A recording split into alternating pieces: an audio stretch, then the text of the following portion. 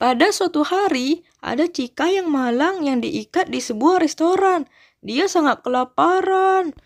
Lalu ada Gregory yang memberikannya makanan. Tetapi Gregory malah mempermainkan si Cika. Sampai Cika kelelahan.